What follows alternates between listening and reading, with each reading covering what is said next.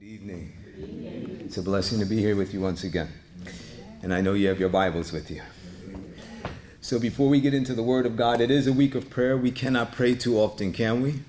And so I want to invite you, as I told you last evening, every time before I, I open the Word of God, I like to invite the people of God to pray.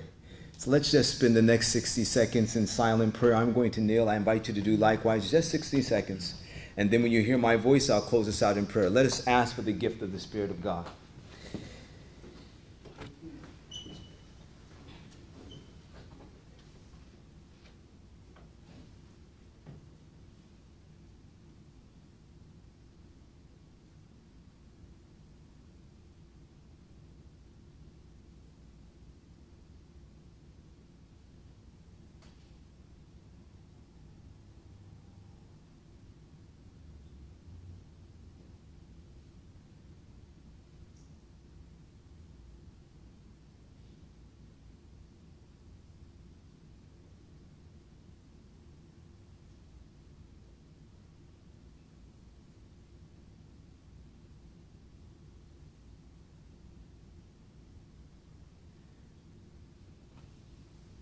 Father in heaven, Lord God of the universe, again we want to praise your name this evening because you are worthy to be praised. You declared in your word, if ye then being evil know how to give good gifts unto your children, how much more would you, our Father which is in heaven, give the Holy Spirit unto them that ask him? And so, Lord, we're asking for the Holy Spirit we are asking that you would fit us to be recipients of the full outpouring of your presence. Please, wash our hearts clean of anything that would present itself as an obstacle from us fully realizing oneness with thee and with your Son, Jesus Christ. Bless our understanding of your word this evening. May it have a sanctifying influence upon our lives. Thank you for hearing these prayers. For thine is the kingdom and the power and the glory forever. In Jesus' name we all do pray. Amen. Amen. I want to invite you to open your Bibles. We're going to go to the book of Matthew, Matthew chapter 5. Matthew chapter 5, and we're going to begin at verse 48. This is a familiar scripture, I believe, to most of us here and we're going to deal with a subject matter that unfortunately is controversial within the Church of the Living God. It's, a, it's controversial within all Christendom, and it should not be controversial within God's remnant movement, if you will. But unfortunately, nonetheless, it is. But let's see what the Word of God has to say about the subject matter. In Matthew chapter 5 and verse 48, Jesus declared, Be ye therefore, are you there with me in your Bibles? Yeah. Be ye therefore perfect, even as your Father which is in heaven is perfect. The Word of God is very clear. Jesus Christ is calling each and every one of us to experience perfection. But unfortunately, as I stated earlier, this is a controversial subject in the church, is it not? There are so many that say no one can be perfect, no one is perfect, well, before we go any further, did Jesus call us to perfection? Yes. If God calls us to experience perfection, then He expects for us to experience perfection. And I love the reality that all of God's biddings are His enablings. Amen? And I believe one of the reasons why people find this subject to be so controversial is because we superimpose or we put our own definition of what perfection is on the Word of God. You know, if you think perfection is never getting a math problem wrong, always having your shoelaces tied, you, you, you get where I'm going with this, then, then of course we have a problem here. But that is not the perfection that the Word of God is speaking of. That word perfect in the original language, I love it. It has a few different definitions. One of it, one of the definitions means to be mature. One of the definitions is to be mature. Another one is to be complete. Another one is to be ripe. You like these definitions? The one that I find the most interesting is the word perfect is also defined as man. Man, M A N, man. And I like that definition because when we understand what God's definition of a man is, then we begin to understand what God's understanding of perfection is for you and I. In the book of Genesis, chapter 1 and verse 27, you know this scripture, but turn your Bibles there. Genesis, chapter 1 and verse 27. The Bible gives us a definition of a man. The Bible tells us in Genesis, chapter 1. What verse are you looking for in your Bibles? The Bible tells us there. So God created man in his own image. In the image of God created he him, male and female created he them according to the Bible, a man, meaning mankind, if you will, is one that was made in the image of God. So when God is calling us to perfection, He's calling us to be restored back into His original intention in creating us, and that is to reveal His image. God is calling us to be restored back into His image. That's perfection. Amen? Amen? So when we are fully matured, when we come to a state of completion in the will of God, we will, we will be restored back into the image of God. Amen. Friends, this is exactly what the Bible says. If you go with me, go with me in your Bibles. We're going to look at Ephesians chapter 4. Ephesians chapter 4. Ephesians chapter 4, let's look at the 13th verse. Because in Ephesians chapter 4 and verse 13, a chapter in the Bible, by the way, which speaks of the gifts of the Spirit, in verse 13, the Bible tells us the ultimate design for which God has placed the gifts of His Spirit in the church. Are you there with me in Ephesians chapter 4 and verse 13? It says, Till we all come into the unity of the faith and to the knowledge of the Son of God unto a perfect man. Look at the next part. Unto the measure of the stature of the fullness of Christ. Do you see development there? Do you see maturity there? Till we come to the measure, the stature of the fullness of Christ. So to be perfect means that we will have characters that will resemble the very character of Jesus himself. And we don't obtain to this by ourselves because, as much as we work, as much as we do anything that we could possibly do within our human power, we can never obtain to the measure and the stature of the fullness of Christ in our own ability. But look what the Bible says. Go with me to the book of Colossians, chapter 2 now. Colossians, chapter 2, and we're going to look at the 10th verse. In Colossians chapter 2, it speaks of Jesus Christ. In verse 9, it talks about that in him dwells all the fullness of the Godhead bodily. And then this very Jesus, in whom all the fullness of the Godhead dwells bodily, the scripture goes on to say in verse 10 of Colossians chapter 2, if you're there, say amen it says, And ye are complete in him, who is the head of all principalities and powers. So, how do we come to this state of completeness? By our lives being hidden in Christ. Christ in me, Christ in you, the hope of glory. That's exactly what the Bible tells us. I want you to look at this. It's right there in the Bible, right there in Colossians again. Look at chapter 1, verse 27. In Colossians chapter 1 and verse 27, it tells us there, to whom God would make known the riches of the glory of this mystery among the Gentiles, which is Christ in you, Christ in me, the hope of glory. And we will learn this week that that word glory is synonymous, it's one and the same with character. One and the same. So we can obtain to being perfect. We can obtain to being complete. We can mature back into what God ordained that we be, and that is intelligent beings that are perfect reflections of the image of God, and it is all possible in Jesus.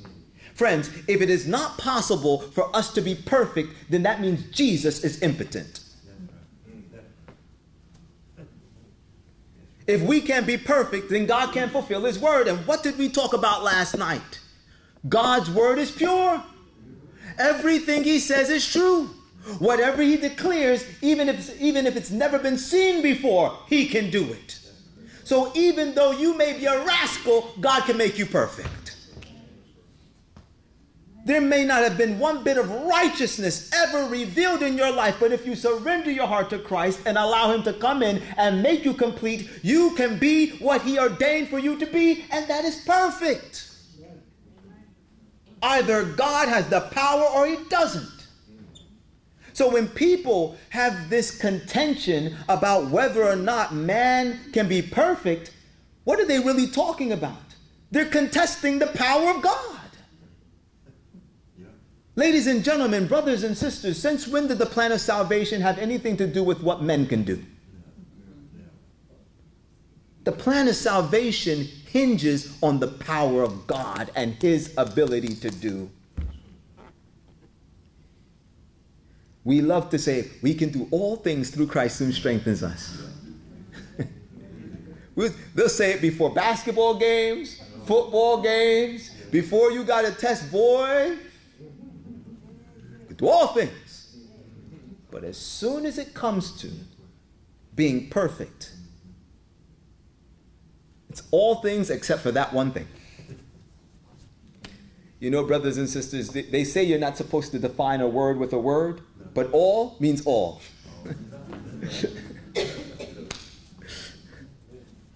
There's nothing exempt. So there's no question in my mind from the Bible as to whether or not we can be perfect. The question that we should have in our minds and what's settled in our minds is how do we obtain to it? How is it accomplished? How is this work done in our lives? That's the question we should be considering, and that's what we should be praying to experience. Let's go to the book of Genesis. Genesis chapter 17. It's one of my favorite places in the Bible to look about this. It Look, look, we'll actually, to study this issue concerning perfection. And as we go to the book of Genesis, chapter 17, we begin to realize that this whole thing of God calling us to perfection, it's not a new thing. It's not a New Testament thing, if you will. It's from the Bible. It's from the very beginning. From the very beginning, we know Abram as the father of the faithful. Am I right? Okay, well, look at Genesis 17 and verse 1. The Bible says, And when Abram was 90 years old and nine, the Lord appeared to Abram and said, I am the Almighty God. Walk before me and be thou perfect. This is Genesis chapter 17, friends. Father of the faithful. And when he was 99 years old, even before God called him Abraham, he's still Abram. Still Abram. He's getting ready to be called Abraham, but he's still Abram at this point. God says, Walk before me and be thou perfect. I want you to consider something. There are many titles in the Bible that we will find that identifies God. Like when Moses was getting ready to go to deliver the children of Israel, if you will, out of captivity, he said, Well, who what God should I tell them sent me? He said, Tell them I am. Tell them I am, I am that I am. We, we see many different titles that God has in the Bible. Am I correct? Jehovah, we can go through a whole host of them. But interestingly enough, here in Genesis 17 and verse 1, God doesn't introduce himself to Abram as the I am or Jehovah. He says, I'm the Almighty God. Why does God introduce himself as the Almighty God when he has a host of titles that he could use? There's a reason. And it's a very easily understood reason. I want, I want to give you a quick uh, analogy, if you will.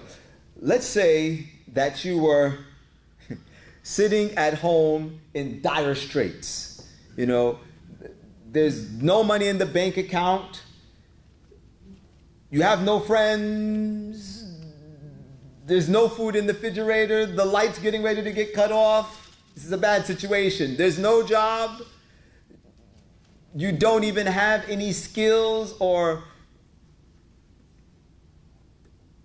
educational qualifications to get that next job, You're in a bad situation right now, but your cell phone is working. I don't know how people's cell phones are still working, but they're working. All right. And let's say you're there, and all of a sudden you get a phone call. And let's say the phone call is from, let's say it's from, you ever heard of this guy called Mark Zuckerberg before? He's the owner of Facebook. Okay, so you've heard of Facebook. So Mark Zuckerberg calls, and you know it's Mark Zuckerberg because the caller ID says it's the real Mark Zuckerberg. And you pick up, and it says, and he says to you, you know what? I was on Facebook today, and I saw your Facebook page, and I like your face. And uh, you know what? I want to take you on as my personal assistant, and I want to train you so that you can be as successful of a businessman as I am. I'm going to send my personal car to your house tomorrow. Be prepared. We begin. He hangs the phone up. How would you feel? I tell you right now, you wouldn't be feeling the way that you're acting right now. yeah. You'd be excited. Some furniture might get moved in the house, am I right? And why would you be excited? Would you be excited because all of a sudden the amount of money in your bank account changed? No. Are the lights still getting ready to get cut off? Yeah. Are you still lacking that education? Yes. Why are you excited? The only reason you're excited is because of the individual that contacted you. And you're excited because of the individual that contacted you because you know that that individual not only is successful, but they also have the resources to make you just as successful as they are as well. So when God calls Abraham and says, Walk before me and be thou perfect, the first thing he says, I'm the Almighty God. What's he trying to let Abraham know? Do you know who you're talking to? Do you know who's talking to you? Mm-hmm. I am all powerful and I have the resources to give, the, give you the power to do anything I call you to do.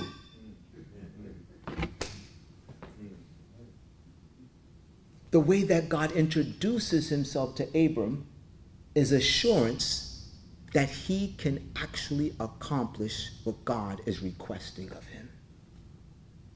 Friends, Almighty means all powerful.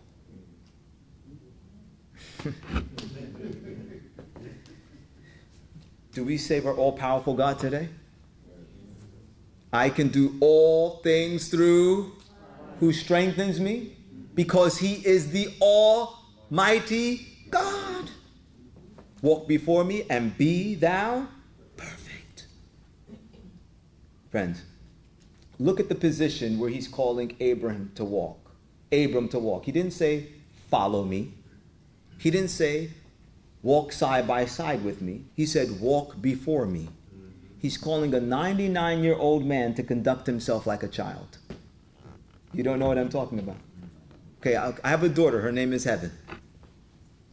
When she began making those movements, and you know how it is when you have children, and you know, okay, I think they're ready to start trying to take those first steps if you have any sense in your head, you don't take that child out of the crib or the carriage or the chair and just say, okay, baby, today we're going to walk and put them down and say, follow me. I mean, do you do that? you take that child and you might put that child where? Right in front of you. Why do you put the child right in front of you? You, you put that child right in front of you so that you can watch them and if there's any danger of them falling and hurting themselves, you're right there too. That's it. And and many situations, you might even encourage that child to walk. So you'll put them in front of you and you'll take their hands and you'll just hold them and start walking with them. Am I right? Do you realize that's what God was calling Abram to do? Friends, look at Isaiah 41 and verse 10. It's right there in our Bibles. Isaiah chapter 41 and verse 10. You see what God is God called Abraham to experience, he's calling us to experience. And Isaiah 41 and verse 10, listen to the words of God. Fear thou not, for I am with thee. Be not dismayed, for I am thy God. I will strengthen thee, yea, I will help thee, yea, I will uphold thee with the right hand of my righteousness. Just like a parent holding up their child. Is it a, do you think it might be a scary thing for a child just to start? He says, Don't be scared, mommy and daddy, they're right here with you. I'm your parent. I'm not going to. He says, I'm your God. I'm not just going to let you fall. I'm going to strengthen you because I'm Almighty. You're having trouble doing this thing? Don't worry, I'll help you. And if there's danger of you falling, don't worry, I'll uphold you with my righteousness. Friends, we have a mighty God. We have a loving Father. and he tells him to walk before him. Notice he says, Don't fear. It can be a fearful thing for a child, it can be a scary thing for a child to be taking those first steps. They're venturing into new territory here. He tells Abram to walk before him. Not walk behind him, not on, on the side of him, but walk before him. If I'm walking side by side with an individual, I can see them in my peripheral vision. If I'm walking behind you, then I can definitely see you. I have a direct line of sight. But if I'm walking before you, I can't see you. The Bible told us in 2 Corinthians 5 and verse 7 For we walk by faith and not by sight. And because we're so used to living our lives based on what we can see, hear, and fear, feel, it's a fearful thing just to have to rely on the word.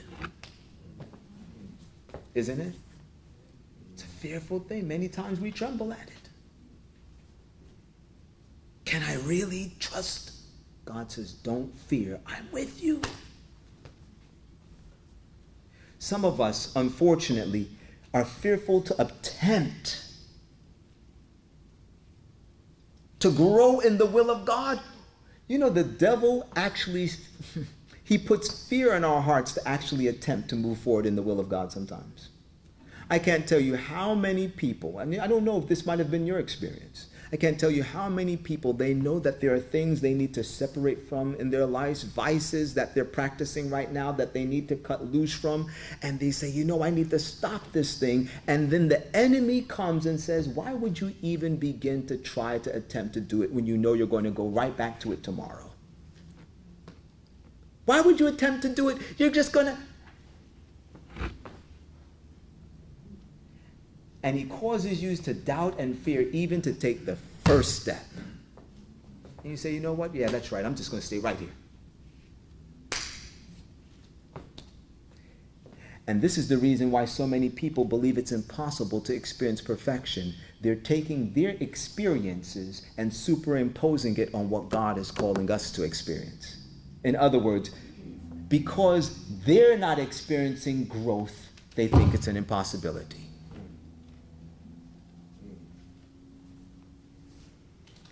Friends, in Christ all things are possible. And I love the fact, just pay attention to the Word of God identifying that God calls Abram to have this experience with him when he's 90 years old and nine. He's 99 years old. This man walked on the face of planet Earth for 99 years, and a good deal of it, he was having a close relationship with the Lord from what we see in the Word of God, and yet he still had not wa- learned to walk before the Lord.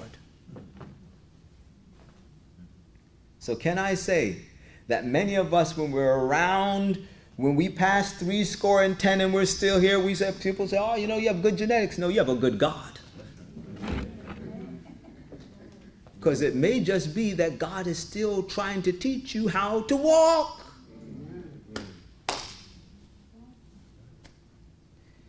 Friends, there's one thing that I know. I've never seen a child just jump out of the crib and start running across the room. The day that I see that, I'm running in the opposite direction, I promise you. You with me right now?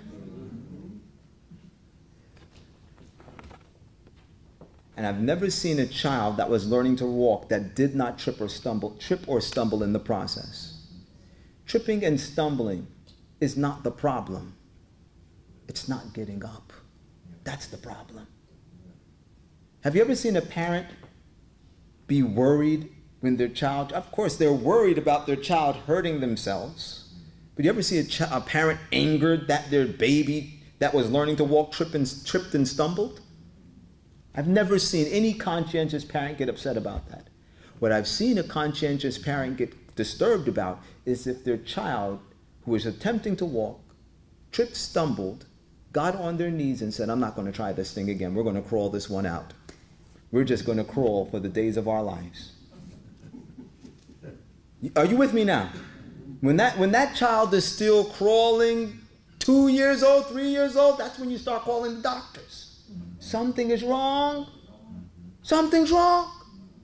Friends, you can't fall unless you're trying to walk. You're not listening to me. The just man falls seven times and does what?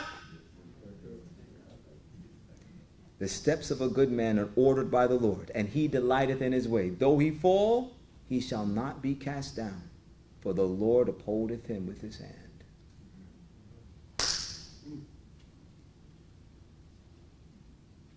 It's a growth process, it's development. Let's talk about this development thing. We said another one of those definitions for the word perfection was ripe. Remember that? Go with me to the book of Mark, Mark chapter 4. Mark chapter 4 and verse 27. We're going to look at this concept of perfection from this point of scripture. Mark chapter 4 and verse 26. The Bible speaks of the kingdom of God, and we know that the kingdom of God currently is not something that we see visibly without. The kingdom of God is within. Amen? And the Bible says in Mark chapter 4 and verse 26 So is the kingdom of God as if a man should cast seed into the ground and should sleep and should rise night and day, and the seed should spring and grow up. And what does the Bible say next? He knoweth not how. Now, some of you here may be much more familiar with agriculture than I myself am. But one thing I know and I've had enough opportunity to practice this. Once again, I'm not claiming to be I'm not claiming to be the, the, the expert on this one. But I know if you put a seed in the ground, you can put it in the proper environment so that it can get sunlight and you water it. But I have never figured out how to make that seed grow. You're not with me right now. Friends, you can water a seed, you can put it in the proper environment where it can get sunlight, but you don't know how a seed grows. The Bible says he knoweth not how. He says, I water it, I let sunlight hit it. I come out every day, and one day I come out, and next thing I know, I see something coming out the ground.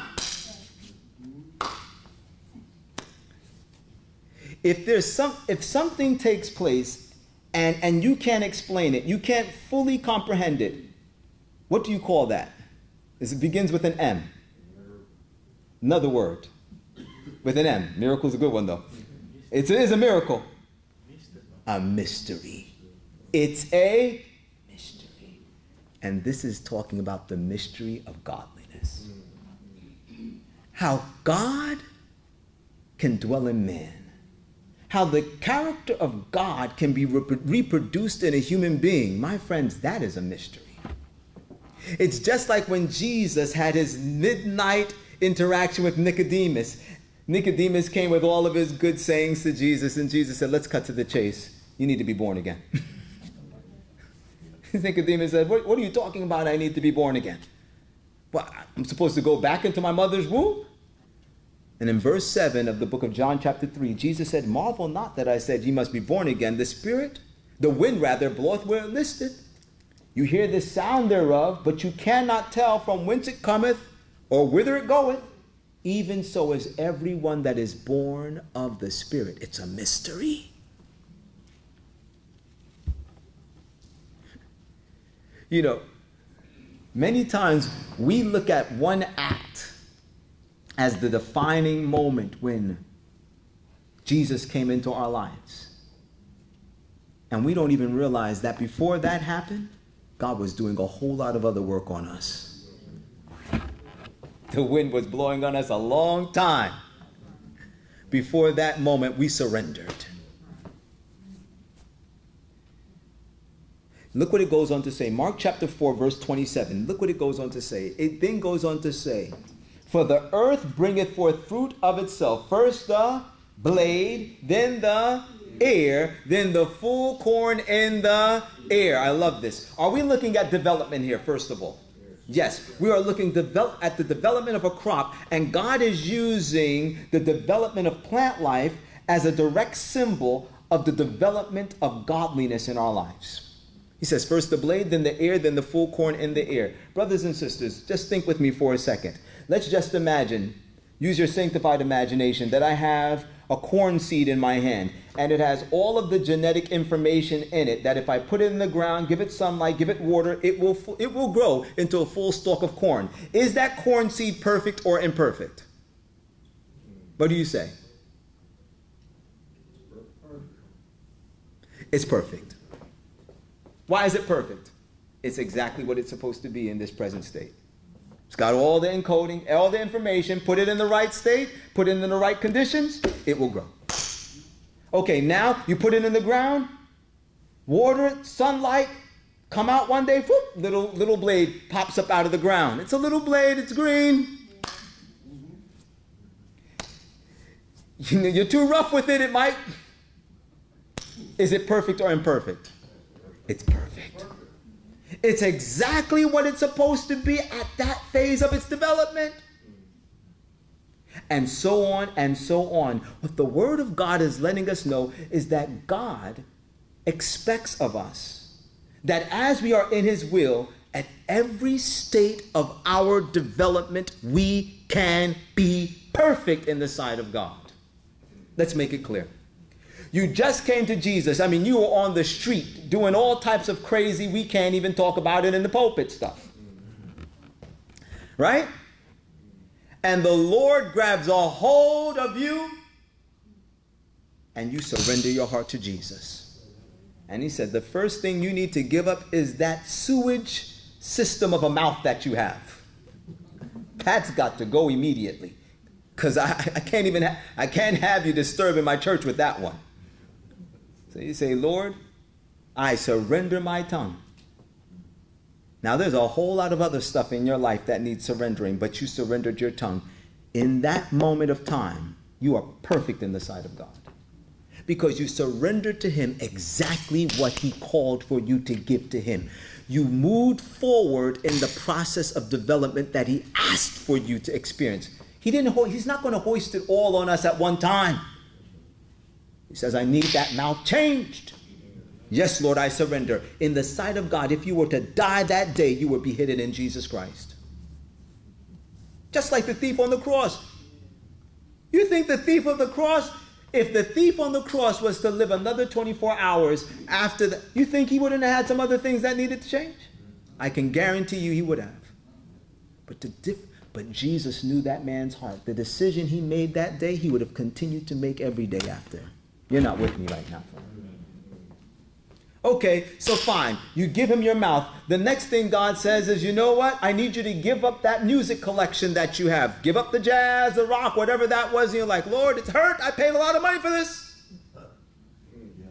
I want to be a bad steward. You know how we always got rationale. Let me sell it. sell it, Lord, and use it for mission work. So you're going to sell it so somebody else can go to hell and listen to it. No, you need to put that in the garbage. That's a write off.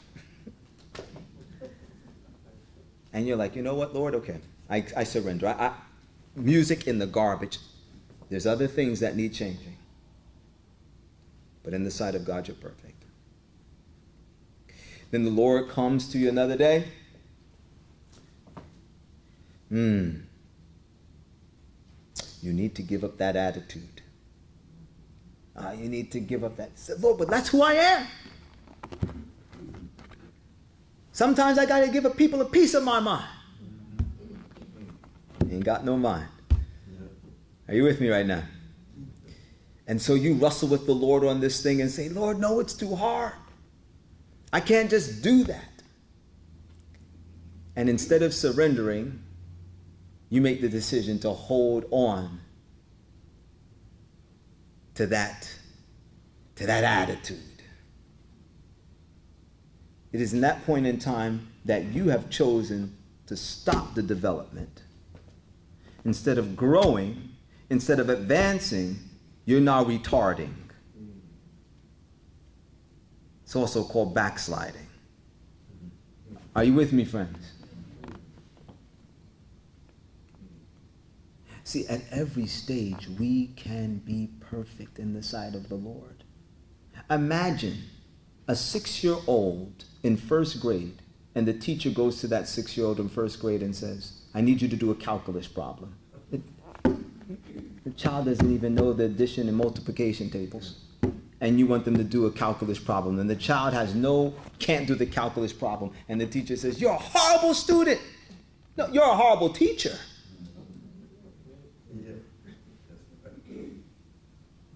Friends, God is the master teacher. He's trying to lead us step by step by step in His will. He wants us to live a life of un- uninterrupted victories. But it's only as we remain hidden in whom? Christ. I want you to see what the scripture goes on to say next. In verse 28 now, it says, But what? Verse 28, not 27. First the blade, then the ear, then the full corn in the ear. The very next verse now, it then goes on to say, but immediately he put it in the sickle. Why? Because the harvest has come. When the fruit is brought forth, that means when the fruit is fully what? Ripe. Does he wait? The word of God says immediately he'll put in the sickle because the harvest is come. Friends, do you know this is talking about Jesus' second coming? It's right here in the Bible. Go with me to the book of Revelation, chapter 14. Look, at, look with me in your Bibles. Revelation, chapter 14. Revelation, chapter 14, and we're going to look at the 14th verse. Revelation, chapter 14, looking at verse 14. The Bible says, And I looked, and behold, a white cloud and upon the cloud one sat like unto the Son of Man, having on his head a golden crown, and in his hand a sharp sickle. And another angel came out of the temple, crying with a loud voice to him that sat on the cloud, Thrust in thy sickle and reap, for the time is come for thee to reap, for the harvest of the earth is ripe. Who's the one that has the sickle? It's Jesus, the Son of Man. And when will he thrust in the sickle to reap? when the harvest of the earth is ripe. When is the harvest of the earth, ri- earth ripe? When the character of God is perfectly reproduced in us. Now, somebody here has heard of Christ object lessons before. Have you heard of that before? On page 69, we're told when the character of God is perfectly reproduced in us, then will Christ come to claim his church. You can't tell me we don't have a prophet. The Word of God said it. As soon as God sees his character perfectly reproduced in us, Jesus comes. Okay, one more scripture for this if you don't believe it. Look at the book of James. The book of James, chapter 5. James, chapter 5. Let's make this our last scripture for this evening. I want this to stay in our minds, friend. James, chapter 5. Are we there together in the Bible? James, the fifth chapter, and I want you to begin with me, James 5, and let's look at uh, verse, James 5 and verse, I believe it is 17. James 5 and verse 7, rather. There it is. The Bible says, Be patient, therefore, brethren, unto the coming of the Lord. Listen to this now. Behold, the husbandman waiteth for the precious fruit of the earth, and have long patience for it until he received the early and latter rain. Now, the early rain is the rain that begins the growth of the plant life, it begins the growth of the produce. The latter rain is what brings that plant life to full ripeness so that it is ready for harvesting. And the Bible tells us that the husbandman, who is Jesus Christ, he is patiently waiting for the fruit, which is us, to receive the early and the latter rain. Now tell me, does the fruit wait on the farmer or does the farmer wait on the fruit? So when we're saying, oh, when is Jesus going to come? He's looking at us and saying, when are you going to allow me to come? You think you're waiting on me, I'm waiting on you patiently because if I came now, you wouldn't be ready for the harvest. We have a merciful God. Let me tell you something there's nothing like ripe fruit. Listen, you go to the supermarket right now. I was there with my dear brother the other day. And I tell you, I'm very I'm very skeptical skeptical about mangoes in the supermarket. Very I'm just going to tell you the truth. I'm skeptical. Very. I can't say that enough. Very. Especially those Walmart mangoes. Very. Why? They look good. They don't taste as good as they look. If you've ever been to the islands, if you've ever, my wife is from Jamaica. Oh, you know, if you know about Jamaicans, they love to go on and on about mangoes. It's like, it's almost, it's almost blasphemous much, as much as they talk about mangoes. And and you know they say they say the tree of life is going to have mango. You know they go they go this far with it. And I'll tell you, she tells me about the dip, they have different types of mangoes, you know. And she always tells me, oh, the Julie mango, it's the best mango, it's the best. Oh. And I remember I went to Jamaica to do to do a mission. it was my first time. And when I arrived at my destination, the first thing the brethren asked me was, Brother Hudson, would you like a mango? I said, I said, I said, yes. I said, you know what? Do you have a Julie mango? Because my wife tells me all about these Julie mangoes. Do you have a Julie mango? They said, we do. And they went and they gave me one of these mangoes. Brethren, all I'm going to tell you is this. I ate so many mangoes on this trip. True story. I ate so many mangoes on this trip that I did not eat mangoes for another year thereafter. It was amazing. It was so tasty. Ripe fruit is amazing.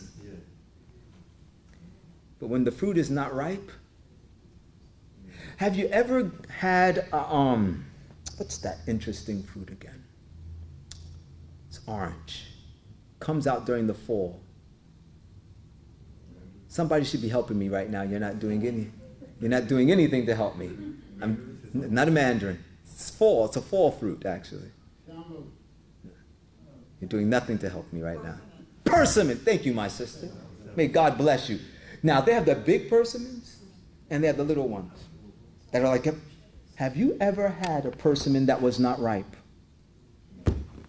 It will turn your face inside out. Your face will implode. You, it, it, it sucks all. you want to talk about something? Somebody here knows what I'm talking about. I see my brother nodding his head.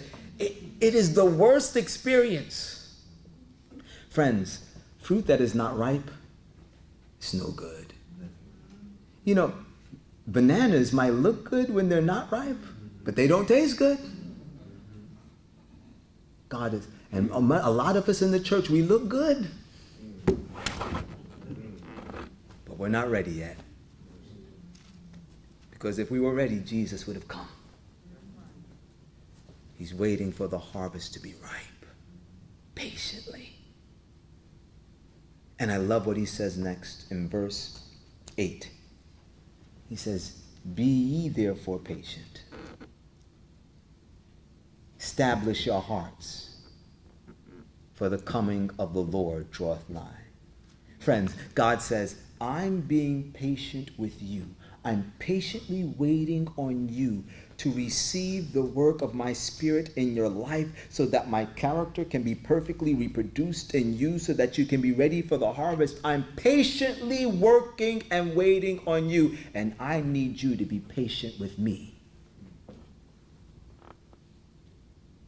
Because in the end, the Bible says, Here is the patience of the saints. A people that patiently wait on the Lord. Be patient. God's working. Go through the process with Him. And the work that He has begun in you, He will complete in you if you follow Him. No. By faith, if you trust Him to uphold you, if you believe that He can do all things in and through you. Last thought I want to share with you, and I close. It's a short one. Jesus said, Be ye therefore perfect. I call that creative language. It's just like in Genesis chapter 1. He said, Let there be light. God says, Be ye therefore perfect. In other words, the Lord is calling for perfection to be in existence in our lives. It's the Word of God. And the Word of God, as we learned yesterday, it doesn't have creative power, it is creative power. God can accomplish the work of perfection in you if you embrace His word and believe it, with, believe it with all your heart, with all your soul, with all your strength. There's a difference between, as Solomon called it in the book uh, Patriarchs and Prophets, animate creation and inanimate creation. See, we're animate creation, we're intelligent creation. God has given us the ability to think, to reason. But let's say, like a rock, for instance, that's what we would call inanimate creation. And inanimate creation has to immediately obey the will of God. If He says to the rock, move left, the left, the rock will move left immediately. If He says to the sea, open up, it will split. Are you following so far? But if He says to you and I, be perfect, that same word has creative power to bring about the change in our lives, but we have something that the rock doesn't have choice. We say, I heard your word, but let me think about it. I heard what you said, but we have a choice as to whether or not God's word will be fulfilled in our lives. Choose to accept God's word as truth in your hearts. Believe it. Final scripture. Trust in the Lord with all thine hearts, and lean not upon thine own understanding. In all thy ways acknowledge him, and he shall direct thy paths. May God bless you. Is that, is, your, is that your desire this evening to trust God with all of your heart? If it is, just raise your hand. Let's pray and ask God to seal up our decisions. Father in heaven, Lord, we want the latter rain. We want to receive the fullness of your Spirit, both the early and the latter rain. These things you have made so plain in your word to us that we can obtain to being restored back into the image of you, the living God, if we simply give ourselves without reserve into the hands of Jesus. Please lead us to have a life of victory in Christ. Please fill us with the fullness of your presence. And then, Lord, please use us until Jesus comes to reap us from this earth. This is our prayer. We ask this blessing in Jesus' name. Amen.